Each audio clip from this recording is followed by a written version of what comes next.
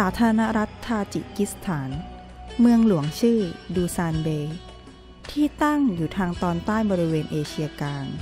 ของอดีตสหภาพโซเวียต ระหว่างอุซเบกิสถานและจีน โดย 90%ของภูมิประเทศเป็นภูเขา มีพื้นที่ 143,100 ตารางกิโลเมตรอาณาเขต ทางทิศเหนือติดกับประเทศคีกิสถาน ทางทิศใต้ติดกับประเทศอัฟกานิสถาน ทางทิศตะวันออกติดกับประเทศจีน ทางทิศตะวันตกติดกับประเทศอุซเบกิสถาน สภาพภูมิประเทศมีเทือกเขาพาเมีย และเทือกเขาอเลอยู่ในประเทศ มีหุบเขาเฟอร์กาน่าตะวันตก อยู่ทางตอนเหนือของประเทศ มีหุบเขาโคฟาไนฮอน และหุบเขาวากในทางตะวันตกเฉียงใต้ สภาพภูมิอากาศ อยู่ตรงกลางเส้นลุงของทวีปยุโรป หน้าร้อนจะร้อนมาก หน้าหนาวจะไม่หนาวมาก และแห้งแบบกึ่งขั้วโลกแถวแถวเทือกเขาพาเมีย ทรัพยากรธรรมชาติ มีพลังงานน้ำ ปิโตรเลียม ยูเรเนียมปลอดถ่านหินสีน้ำตาล ตะกั่ว สังกะสี พวง ทางสเตน เงินและทอง ภัยธรรมชาติส่วนใหญ่ จะเป็นแผ่นดินไหวและน้ำท่วมจำนวนประชากรประมาณ 8 51,512 คน อัตราการเจริญเติบโตของประชากร 1.75%สัญชาติทาจิกิสถาน เชื้อชาติทาจิกิสถาน 84.3%อุซเบกิสถาน 13.8%และอื่น ๆ อีก 2%ศาสนา นับถือศาสนาอิสลาม นิกายซุนี 96.6%นิกายชีอะ 2.8%และอื่น ๆ อีก 0.6%ภาษา โดยทั่วไปจะใช้ภาษาทาจิก ภาษารัสเซียใช้ในภาครัฐและภาคเอกชน และภาษาอุซเบก ใช้เพียงหนึ่งในสี่ของจำนวนประชากรในประเทศ ด้านประวัติศาสตร์ ทาจิกิสถานได้รับเอกราชในปี คศ 1990 ภายหลังการล่มสลายของสหภาพโซเวียต การเมืองการปกครอง ระบบการเมือง ใช้ระบบประชาธิปไตย โดยมีประธานาธิบดีเป็นประมุข และทำหน้าที่ในการบริหารประเทศ ประธานาธิบดีคือ นายเอมอร์มาลีลามอน นายกรัฐมนตรีคือ นายโคคีราซุนโซดา สกุลเงินที่ใช้คือโซโมนี สัญลักษณ์เงินคือ TJS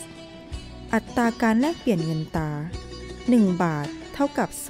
0.18 TJS GDP 22.22 พันล้านดอลลาร์สหรัฐ GDP รายหัว 2,700 ดอลลาร์สหรัฐ GDP แยกตามภาคการผลิต ภาคการเกษตร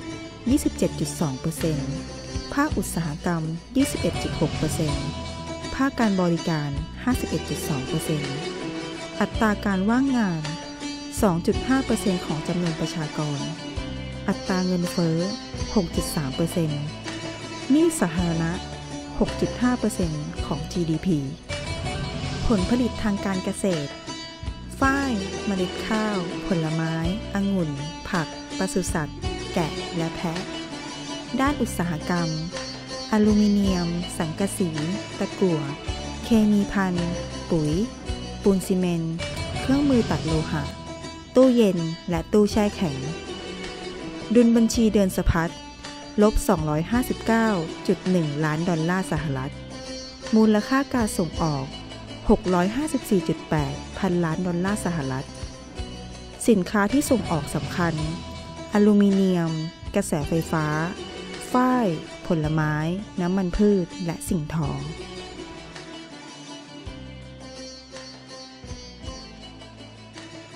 ประเทศคู่ค้าส่งออกที่สำคัญ ตุรกี อิหร่าน จีน บังกลาเทศ คาซัคสถาน อัฟกานิสถาน รัสเซีย มูลค่าการนำเข้า 4.348 พันล้านดอลลาร์สหรัฐ สินค้านำเข้าที่สำคัญ กระแสไฟ ผลิตภัณฑ์จากปิโตรเลียม สารประกอบอลูมิเนียม เครื่องจักร และเครื่องบริโภค คู่ค้านำเข้าที่สำคัญ จีน รัสเซีย คาซัคสถาน ตุรกี ตามลำดับ เศรษฐกิจและสังคม สาธารณรัฐทาจิกิสถาน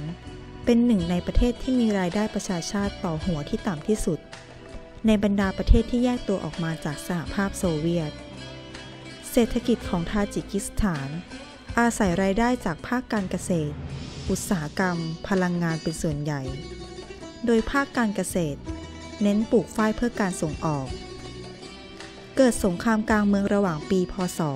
2535 ถึง 2540 ส่งผลกระทบต่อเศรษฐกิจทาจิกิสถานเป็นอย่างมาก ตั้งแต่ปี พศ 2535 รัฐบาลทาจิกิสถาน ได้กำหนดนโยบายปฏิรูประบบเศรษฐกิจ เพื่อให้เป็นระบบการตลาดแบบเสรีมากที่สุด โดยเน้นด้านการปฏิรูปภาคเกษตรกรรม การโอนถ่ายกิจการของรัฐ ทั้งธุรกิจขนาดเล็กและขนาดใหญ่ ให้เป็นของเอกชนให้มากที่สุด การปรับปรุงสถาบันการเงิน การธนาคาร และระบบภาษี ซึ่งการปฏิรูประบบเศรษฐกิจครั้งนี้ จะต้องอาศัยเงินทุนจากต่างประเทศ อย่างไรก็ตาม การปฏิรูปทางด้านเศรษฐกิจเป็นไปได้อย่างเชื่องช้า โดยเฉพาะด้านเกษตรกรรม ซึ่งประสบปัญหาด้านการลงทุนขาดการส่งเสริมระบบตลาดและระบบสินเชื่อ อีกทั้งระบบชนประทานที่เสื่อมสภาพและเครื่องมือที่ล้าสมัย โดยจะเห็นได้จากหนี้สินของเกษตรกร ที่ปลูกฝ้ายในปีพศ 2547 ซึ่งสินค้าส่งออกหลักของทาจิกิสถานมีมูลค่าถึง 230 ล้านดอลลาร์สหรัฐ ถึงแม้ว่าผลผลิตจะเพิ่มขึ้นร้อยละ 4 ปัญหานี้ต่างประเทศของทาจิกิสถานเริ่มดีขึ้น อันเป็นผลสืบเนื่องจากการเจรจาทวิภาคี ในเดือนกุมภาพันธ์ พศ 2547 รัสเซียได้เซ็นสัญญาปลดหนี้ของทาจิกิสถานถึง 250 ล้านดอลลาร์สหรัฐ แต่ทาจิกิสถานยังประสบปัญหาในด้านการบริหารหนี้ต่างประเทศจนถึงปัจจุบัน ในปี พศ 2549 SCO ประกาศให้ความช่วยเหลือในการปรับปรุงระบบไฟฟ้า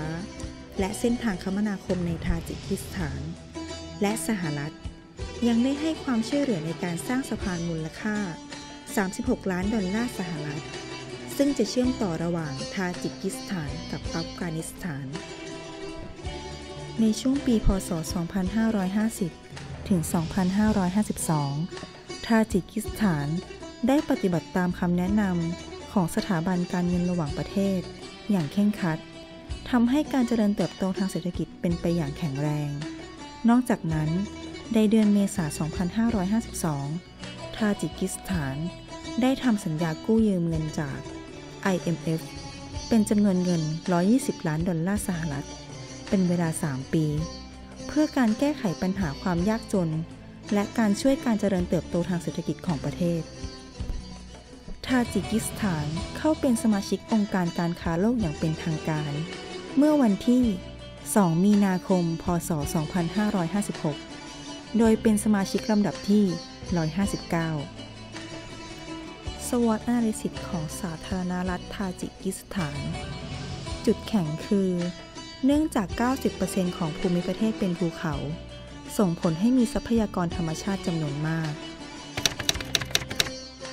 ความห่างไกลจากชายฝั่งทะเล โอกาสทาจิกิสถานมีศักยภาพด้านการผลิตอลูมิเนียม ฝ้ายและไฟฟ้า อุปสรรคคือการขาดการลงทุน และการบริหารจัดการอย่างไม่มีประสิทธิภาพ ความสัมพันธ์ทางเศรษฐกิจระหว่างสาธารณรัฐทาจิกิสถานกับประเทศไทย ไทยกับทาจิกิสถาน มีความสัมพันธ์ทางการค้าระหว่างกันตั้งแต่ปี พศ 2536 แต่มูลค่าการค้ารวมยังต่ำมาก สาเหตุที่การค้า การลงทุน และการติดต่อสัมพันธ์ทางด้านต่างๆ ระหว่างสองประเทศยังมีไม่มากนัก เนื่องจากยังไม่มีเที่ยวบินตรงระหว่างกัน ส่งผลให้ผู้ประกอบการฝ่ายไทย ประสบปัญหาความยากลำบากในการเดินทาง และขนส่งสินค้าไปยังทาจิกิสถาน การขนส่งสินค้าต้องทำการผ่านประเทศที่ 3 อีกทั้งระดับรายได้ของประชากรทาจิกิสถานยังไม่สูงมากนัก จึงส่งผลให้การขยายตลาดสินค้าเป็นไปได้ยาก ขณะเดียวกันทาจิกิสถานยังประสบปัญหาเรื่องการชำระเงินผ่านธนาคารที่ยังไม่ได้มาตรฐานสากล การนำเข้าสินค้าจากประเทศไทย อันดับ 1 กระดาษ อันดับ 2 เครื่องจักรกล อันดับ 3 เครื่องตัดต่อและป้องกันวงจรไฟฟ้า อันดับ 4 มันสำปะหลัง อันดับ 5 สายไฟและสายเคเบิล